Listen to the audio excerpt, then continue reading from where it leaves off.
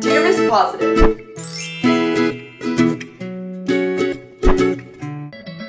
Hi, it's Dear Miss Positive, and today I'm going to be going over one of the questions of the day, what stresses you guys out the most?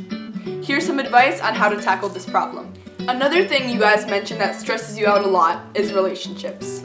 At our age, of course, these relationships don't last. They aren't meant to.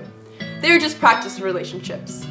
Just like driving, when you're learning how to drive, you make mistakes along the way. No one perfects it the first time.